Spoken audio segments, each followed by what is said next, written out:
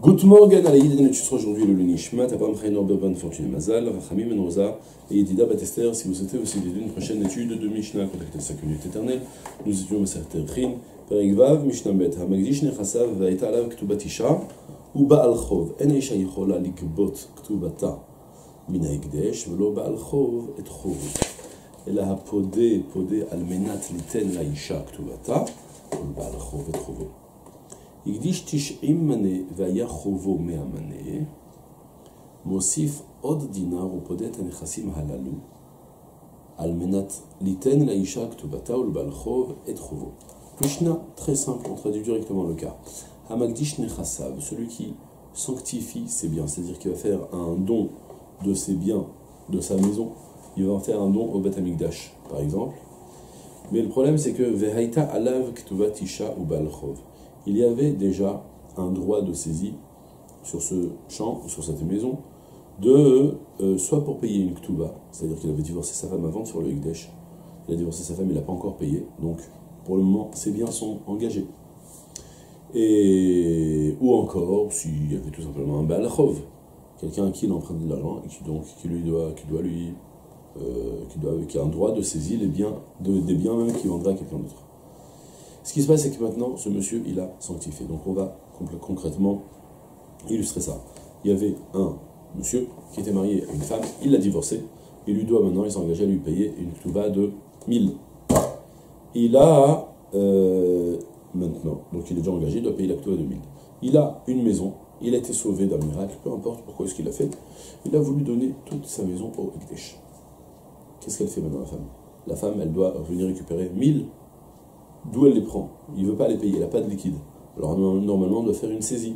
La question, alors, alors en temps normal, si maintenant ce monsieur qui a divorcé sa femme, il avait vendu son bien à quelqu'un d'autre, la femme serait partie voir quelqu'un d'autre, leur dit tu me rends l'argent, et tu me rends tout de suite le champ, et à moi, parce que moi j'ai un droit de saisie, et tu te retournes chez mon mari, pour que, mon ex-mari, pour que lui te règle l'argent que tu as payé, parce que j'ai un droit de saisie. Ça, c'est quand on a affaire à des humains. Le problème, c'est que là, on a affaire à du Hekdesh. Et ça va être plus sensible. Il y a un petit problème technique. Je vous dis tout de suite, le problème, concrètement, il n'y a pas de problème Minatora, c'est le même principe. Elle va, elle, elle reprend du Hekdesh. Seulement, il y a un problème que Kharamim n'ont pas voulu qu'il y ait du Hekdesh qui puisse, sortir, qui puisse sortir gratuitement en apparence. Concrètement, le Hekdesh, il n'a pas il n'a pas été actionné, il n'a pas réussi à saisir le bien, parce que le bien il est déjà engagé par quelqu'un d'autre. Mais les gens ils vont peut-être commencer à croire qu'en réalité, non, le Hekdesh, c'est sûr que le Hekdesh il a, sanctifié, mais que parfois on peut prendre des choses du Hekdesh. Et c'est un grand danger de faire une chose pareille, de ce fait, ont été métaken de donner un petit franc symbolique. Et c'est ce que la Mishnah enseigne,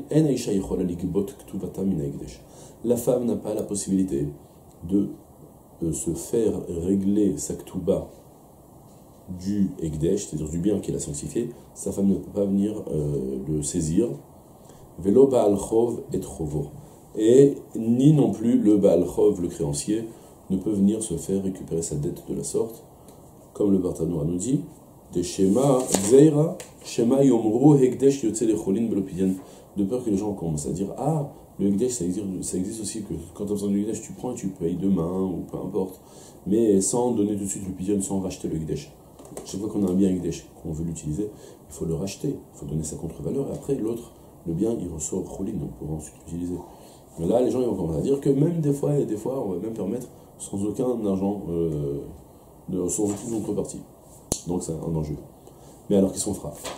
Et là, à poder, poder, almenat, liten, laïcha, ktubata, Il faudra que ceux qui viennent nous racheter le champ, ce ne sera pas la femme, ce sera une tierce personne qui viendra et qui le rachètera pour une petite pièce, et à part ça, en lui conditionnant qu'il doit aussi payer toute la dette à la femme. C'est-à-dire, on reprend le cas avec la million, avec le, le cas avec le, mari qui doit 1000 shekels de Ktuba à sa femme.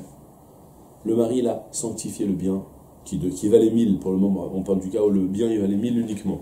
Le mari l'a sanctifié et il s'avère qu'en réalité, la femme avait un droit de saisie, donc il n'est pas kadosh on va malgré tout donner une allure de gloucha. Qu'est-ce qu'on va faire? On va appeler, viens toi Réhouven, tu seras intéressé à acheter ce champ? Oui. Ce champ il coûte 1000. Tu sais ce que tu vas faire? Tu vas payer 1001. Le 1, tu le donnes pour, à la trésorerie du Betamigdash pour pouvoir libérer le champ, pour le racheter, même si concrètement il coûte 1000. Mais là, au moins ça a donné une allure de, de rachat. et puis après tu rajoutes les 1000 encore, et tu vas tu les donnes à la femme directement. Voilà ce que la Mishnah m'enseigne. Je reprends dans les mots.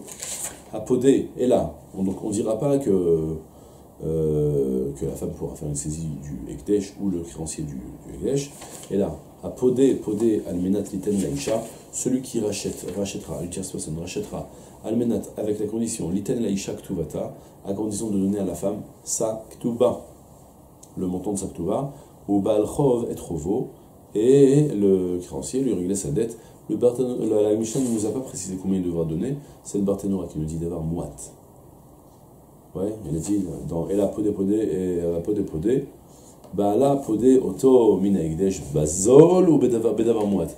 À bas prix pour, avec un petit quelque chose symbolique, et comme ça après le, tout l'argent comptant, il va l'utiliser pour le donner à la fin. Deuxième situation dans la Mishnah, c'est le même principe exactement avec un petit ridouche supplémentaire. Il a sanctifié un bien qui valait 90 manées, tandis qu'il avait une dette de 100 manées. C'est-à-dire, dans la première partie de la Mishnah, on parlait du cas où il avait, comme on avait dit, il, avait une dette de 1000 et le champ valait 1000. Et donc on a dit, tu rachètes avec un petit franc symbolique, ou une tierce personne, peu importe, ou même toi-même, tu achètes avec un franc symbolique et puis après tu lui donnes le champ. Euh, non, dans la région, on parlait que c'était quelqu'un d'autre. Là, on va parler plutôt que c'est le, c'est le mari ou c'est le créancier. Il dit Shtishim Mane Vayachovo Meamane. Cette fois-ci, donc, le champ ou la maison vaut moins que la dette. Alors, Mosif Od Dinar, il devra ajouter un dinar, ou Podé et Halalou, et avec ce petit dinar, il va racheter tous les biens. Almenat Liten Laisha Ktubata, afin de donner à sa femme sa et au créancier sa dette. On explique, il y a le chidouche en fait, il est, il est que dans le cas où il y avait une trop grande différence en fait entre ce qu'il devait et la maison. Pour le moment, la Michel elle va parler du cas positif et on va déduire le cas négatif. C'est-à-dire, il avait, j'avais une dette, je devais payer une créance, une dette, je devais payer 1000, on va, rester, on va rester sur les chiffres de la Mishnah, je devais payer 100, 100 manées, des manées c'est des grosses pièces euh, qui coûtent cher quoi, et je devais payer 100, et pour le moment j'avais ce champ qui valait 90.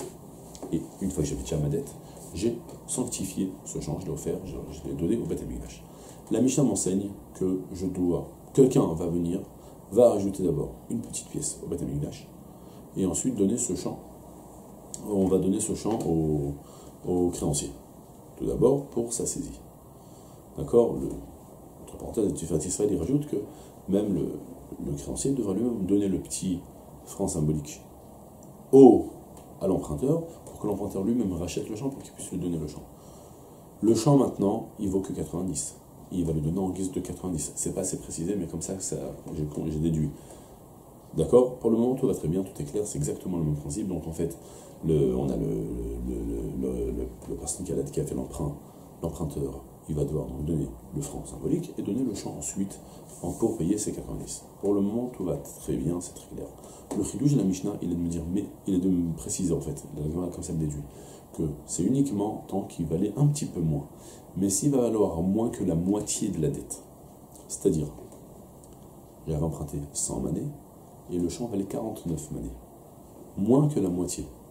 Alors dans un cas pareil, il y a une halakha très nouvelle moi personnellement, que ce bien-là n'a pas eu de saisie d'hypothèque, il n'a pas eu de droit de, saisie, de droit de saisie au point où on va partir le, euh, le peut le récupérer ailleurs. C'est-à-dire, lorsque je donc j'ai une dette de 100 000, de 1200, je dois, je dois 100, eh bien, certes, tous mes biens que j'ai qui valent au moins 100, et même 90, et même 80, et même 60, et même 50, jusqu'à la moitié 51, eh bien, tous les, tous les biens que j'ai, le, ils ont été engagés au moment de l'emprunt pour que le créancier ait un droit de saisie sur ces biens. Même s'ils valent moins, parce que le créancier s'est dit, écoute, il s'est dit que jusqu'au double du prix, jusqu'au double du prix, on est capable de le prendre au pire. Pour un genre, s'il est de bonne qualité, on peut le prendre. Mais s'il vaut nettement moins, alors on ne va pas payer une dette en prenant un petit bout de terrain ici, un petit bout de terrain par là et un autre petit bout de terrain par là.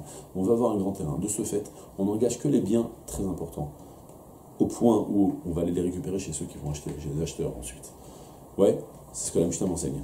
Donc, une fois que j'ai donné ce champ à quelqu'un d'autre, ou j'ai sanctifié le champ en l'occurrence, alors, jusqu'à la moitié du prix de la dette, le champ il est engagé.